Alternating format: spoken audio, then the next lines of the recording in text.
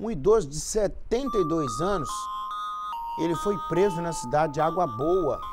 Segundo a Polícia Civil, o homem era investigado pelos crimes de estupro de vulnerável e tortura cometidos contra uma mulher.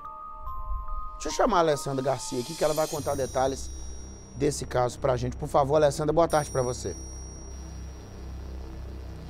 Boa tarde, Nico. Boa tarde a quem nos acompanha pelas redes sociais, eh, pela transmissão da TV Leste.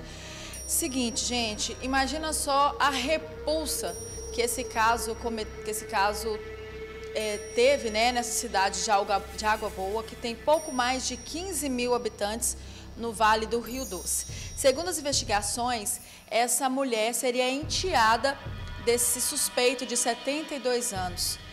Ela, hoje, com 28 anos, contou à Polícia Civil que ela sofria esses abusos desde quando ela ainda era criança, com 6 anos de idade. Olha para você ver que história. E esses abusos eles seriam durados até os 20 anos de idade dela. Dessa situação pavorosa, horrenda, nasceram duas crianças. E evidentemente essas crianças não foram registradas por esse suspeito né, esse suspeito que, além de cometer essa violência sexual contra essa mulher, conforme as investigações, ele ainda cometia violência física e violência psicológica. Ele é um homem, conforme ainda essas investigações, muito temido na região, apesar da idade, né, dos seus 72 anos.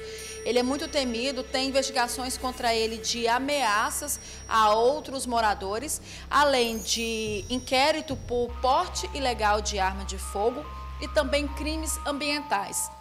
Felizmente, esse homem já está no sistema prisional, já foi encaminhado para lá, agora vai prestar esses esclarecimentos à justiça e as investigações seguem, né?